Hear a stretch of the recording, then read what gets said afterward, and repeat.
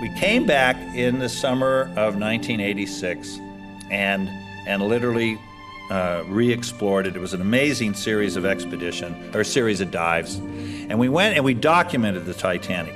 But what was also amazing about that expedition is we were able to create a complete photo mosaic of the ship.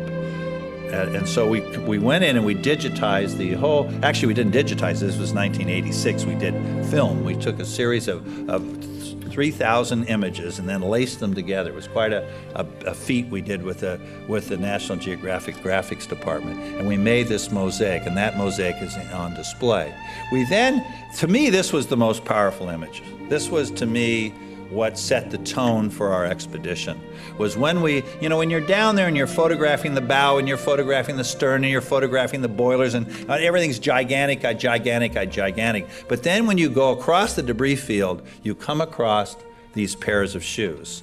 And this is where the human, people forget that after the Titanic crashed to the bottom, about a half an hour later, all the people that were in the, in the water were freezing to death. It took about 30 minutes to die in that cold water, and those that didn't have life jackets then came raining down. Hundreds and hundreds of bodies came like rain and landed all across the debris field of the Titanic.